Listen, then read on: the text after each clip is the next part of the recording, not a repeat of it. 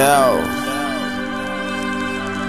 Yo, Jordan F, this this right here is crazy. Yeah, I, I feel big, you know what I mean? Like not not big in the sense of weight, you know what I mean? Like gaining weight up, nothing like that, like colossal, like you know what I mean? Like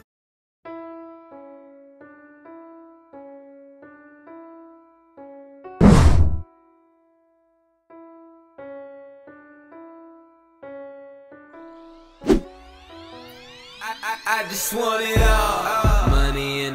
Money in the cars, right? I don't wear a tie, but they say I live a boss like I, I just want. It's all about intensity. Let's go. That intensity high doing reps from 15 a set, so 15 reps a set. Go three, four, five sets on the exercise, it all depends, it's all by that feel. When everything feels nice and pumped, I'm still feeling nice and flat. So let's get it. Let's get it, buddy. I want to be 260 all muscle. Just want it all.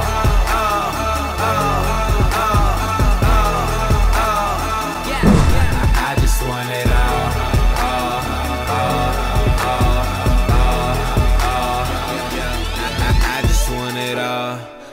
but law? Kill him so cool, you could call me Mr. Frost. Come find, find me where the Alright guys, next up, we're doing some lateral raises. We need those big delts. We're pumping it up with the push. Now we're gonna do some flies. We're gonna fly away some golden ball delts. Three sets of 15, let's get it. Yeah. Yeah, it's about, it's so old, dude. Buddy, if you're talking while you're doing a set, Then what? intensity's not up there, Chiao. Come on, Jackson. money is ever feeling lost. I just wanna ball, so sick of playing toss. I remember back then I had a dream. Since then I've been sleepwalking. All, all, all the ups and downs I was seesaw in. Only made me strong like steroids. Game time, about to serve these niggas like a bellboy. So I wouldn't say that this is the most productive workouts, but it's a fun one with the boys. Focused on getting a pump, looking tick, crushing uh, the beach, doing some cliff jumping. Let's get it. Intensity is the key here. We don't have much time. So let's get in, conquer, Get, get it. out.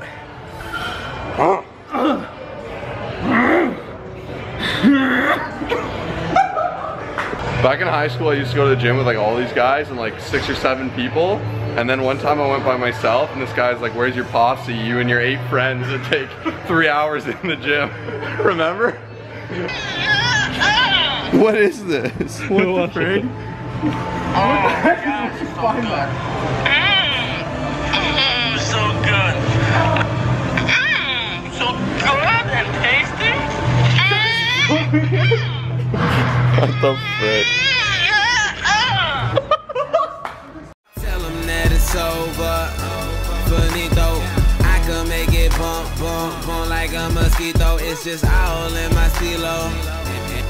To finish her off, we're gonna do a couple sets of chin-ups. We're gonna go as many reps as we can, three to four sets, and then we're gonna head to the beach, so let's get it. Pockets are the only bigger than my ego. I, I just want it all. Money in the cars, right? I don't wear a tie, but they say I live a boss like.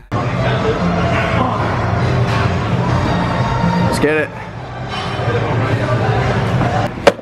So we didn't end up filming the cliff jumping yesterday. We were with the boys, had a great time, decided to leave the cameras to the side, but now we're gonna eat some salad, jump to the gym, eat some nice nutritious food, so let's get into it. All right, guys, so I like to do it with some steak. Medium rare is the way to go. I used to love well done, but I switched over. I'm thankful I did. Some hummus, some corn, got some beets, some spiraled beets, a little bit of white cheddar, sweet potato, broccoli, sriracha sauce, onions, green and red pepper. This is the ultimate healthy protein micro everything friendly meal. This guy's even got some uh, soy in there for some extra soy gains. Edamame just upping that protein level. Keeping it nice and healthy, guys. We're doing a lean bulk, so we're in a slight calorie surplus. Um, the goal isn't to bulk up to like 190 like I have in the past. I'm just slowly increasing my calories, trying to put on some solid weight, not too much fat, maintain, um, you know, increase the muscle mass like a tiny bit, guys. Like, we're gonna put a big focus on nutrition here. We're not gonna be going out and doing these eating competitions as much as you guys like. However, if you guys do wanna see us do the 20,000 calorie challenge, make sure to click down in the description below. If we get 5,000 likes, we'll do that. But that's the game plan for this series. So as Kyle said, guys, it's a lean bulk. I have to say I hate that term because I feel like it's everyone's excuse to not actually cut and to not bulk. It's just to kind of do whatever and say, oh, I'm maintaining. So we're, we're gonna go past that. So we were cutting, we were lower, you know, we kind of ate our food, we got back up to our weight. Uh, we didn't have a problem getting up faster this time because we didn't want to do a really slow reverse. So I just set my macros right up to 3,200. That's where I am right now. As you guys saw in the other video on my spreadsheet, I'm maintaining that for now.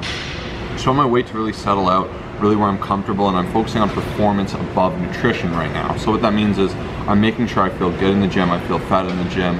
Um, I'm trying to eat really healthy as well, like to try to actually kind of fuel my body, right? It's like a nice car, you gotta put in good gas but at the same time you can put on some like filthy mods right? So something like that for us like we just had this wonderful salus but now we're gonna kind of get those sick mods of donuts which is actually gonna help us in the gym because we're kind of packing in that sodium that sugar and that glycogen from the carbs that we can just utilize in the body and just really get it to kind of pump us up get us going. So we have that 80-20 rule going but this is kind of our goal right now. Then we're gonna slowly increase calories at a rate we feel good. I only really wanna gain, I'd say about a pound or two a month tops.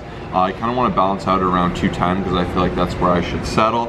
And then I'll slowly climb my way up to hopefully by the end of the series 215 216 so nothing dramatic but i'm just utilizing this lean bulk to gain a little bit of muscle to have some surplus because you guys know if you want to gain more muscle you do want to be in a caloric surplus However, if I really wanted to gain muscle, I could do more of a dirty bulk like Kyle did last time. You guys see he got really, just got big, he blew up, he made some sick gains because of that. But uh, at the same time, I'm not down to put on that much fat because bigger, faster, stronger. I wanna make sure I'm feeling good, really happy in my skin. I can run upstairs, I'm not tiring out. I feel like I got my nutrition dialed down, my my just routine kind of completely good and that's what this series is all about uh, we'll fill you in some more but uh, I think Kyle's getting hungry for some donuts so we'll head over there on a side note though if it would interest you guys to actually see like some of the other silly non-fitness things we do like cliff jumping or like some moto stuff it's something we've wanted to do, but we're not sure if it actually interests anyone. So it'd be real cool, just be honest, yes, no, whatever, comment down below and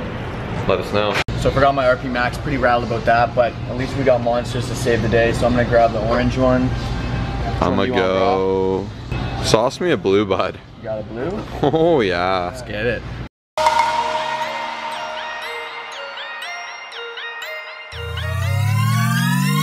And all the people